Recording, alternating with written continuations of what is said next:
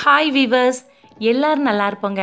இன்றைக்கி நம்ம சேனலில் என்ன பார்க்கலாம் அப்படின்னா ஹைதராபாத் சிக்கன் எப்படி செய்யலாம் அப்படிங்கிறத பார்க்க போகிறோம் ரொம்ப காரசாரமாக ரொம்ப சுவையாக இருக்குங்க ஹைதராபாத் சிக்கன் எளிமையான முறையில் நம்ம எப்படி செய்யலாம் அப்படிங்கிறத பார்க்கலாம்.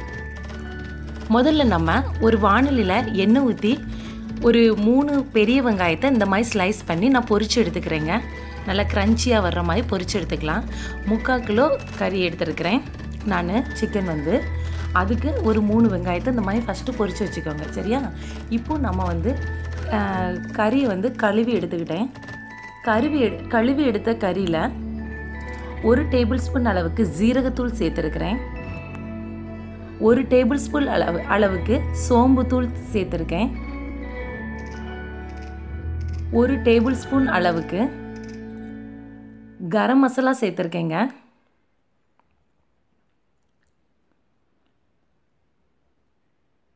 ஒரு டேபிள் ஸ்பூன் அளவுக்கு மிளகுத்தூள். மிளகு மட்டும் தனியாக அரைச்சி எடுத்து சேர்த்துருக்கேன். மிளகு கொஞ்சம் எக்ஸ்ட்ரா போட்டாலும் நல்லா சுவையாக தான் இருக்கும். அதுக்கப்புறமா இஞ்சி பூண்டு பேஸ்ட்டு ஒரு டேபிள் ஸ்பூன் அளவுக்கு சேர்த்துருக்கேங்க. இது எல்லாமே முக்கால் கிலோ சிக்கனுக்கு நான் சொல்கிறேன் சரிங்களா? இப்போ நான் கொஞ்சமாக கருவேப்பிலையும் கொத்தமல்லியும் இந்த மாதிரி ஃபைன் சாப் பண்ணி வச்சுருக்கிறேன். அதையும் இது கூட சேர்த்துருக்கேன். ஒரு ரெண்டு பச்சை மிளகா வாசனைக்கு. இந்த பச்சை மிளகா வாசனை நம்ம கடைசியில் ரொம்ப டேஸ்டியாக வரும். அதுக்காக ஒரு ஹாஃப் லெமன் ஜூஸ் ஒரு ஹாஃப் லெமனில் இருந்து லெமன் ஜூஸ் எடுத்து ஊற்றிக்கலாம் நம்ம.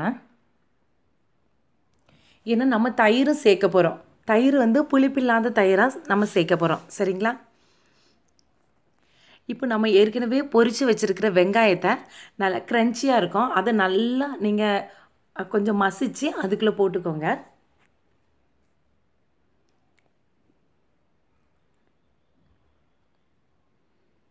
வெங்காயத்தை சேர்த்துட்டு நல்லா கலந்துடலாம். இப்போ நம்ம தயிர் சேர்த்துக்க போகிறோங்க தயிர் வந்து கெட்டி தயிர்னால் ஒரு ரெண்டு டேபிள் ஸ்பூன் அளவுக்கு எடுத்துருங்க எங்கிட்ட ரொம்ப கெட்டியாக தயிர் இல்லை. அதனால் நான் ஒரு மூணு டேபிள் ஸ்பூன் எடுத்துருக்கிறேன்.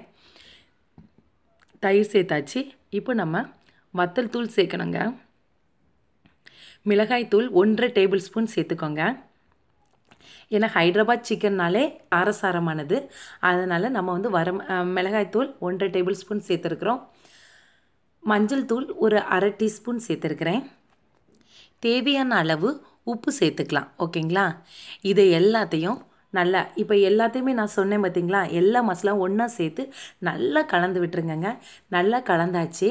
இதை அப்படியே மூடி போட்டு மூடி வச்சுருங்க. ஒரு ஒரு மணி நேரம் கழித்து பார்க்கலாம். ஒன் ஹவர்னாலும் சரி ஒன்றரை மணி நேரம் கழிச்சுனாலும் பரவாயில்ல. நம்ம பார்க்கும்போது நல்லா திறக்கும் போதே மூடி சும்மா திறக்கும் போது நல்ல வாசனையாக வருங்க. சரி இப்போ ஒரு அடி கனமான பாத்திரத்தை எடுத்து நம்ம வந்து சூடு பண்ணிக்கோங்க. மூணு டேபிள் ஸ்பூன் அளவுக்கு ஆயில் சேர்த்துக்கலாம். இதில் ஒரு ரெண்டு இன்ச் அளவுக்கு பட்டை ஒரு ஸ்டார் பூ மட்டும் சேர்த்துட்டு அது நல்லா கொஞ்சம் நல்லா பொரிஞ்சு வந்ததுக்கப்புறமா நம்ம ஊற வச்சுருந்த கறியை இதில் சேர்த்துக்க போகிறோம் ஊற வச்ச கறியை நம்ம இதில் சேர்த்ததுக்கப்புறமா அடிக்கடி நம்ம மூடி மூடி போட்டுருங்க. போட்டுட்டு கறி போட்டுட்டு நல்லா கிளறி விட்டுட்டு மூடி போட்டுருங்க பாத்திரத்தில். ஏன்னா அது வந்து இப்போ நம்ம தண்ணியே ஊற்றி வந்து இதில் வந்து வேக வைக்க போகிறதில்ல இந்த சிக்கன்லேயே ஊறுற தண்ணியிலே தான் நம்ம குக் பண்ண போகிறோம் ரொம்ப டேஸ்டியாக இருக்கும். சீக்கிரமாகவும் ரெடி ஆயிருங்க. ஆனால் அடிக்கடி எடுத்து நம்ம மூடி எடுத்து கிண்டி கிண்டி விட்டு நம்ம வந்து பார்த்துட்ருக்கணும் இல்லைன்னா அடி பிடிச்சிரும். சரிங்களா? இப்போ கொஞ்சம் மூடி விட்டு மூடி போட்டு கொஞ்சம் நேரம் வெயிட் பண்ணிவிட்டு நம்ம பார்க்கலாம். இப்போ பாருங்கங்க நம்ம தண்ணியே ஊற்றலை ஆனால் சிக்கனில் எவ்வளோ தண்ணி பெருகிருக்கு பார்த்தீங்களா?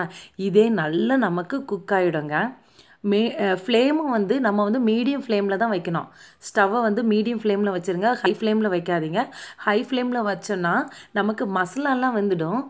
சிக்கன் வந்து உள்ளே குக் ஆகாது. புரியுதுங்களா?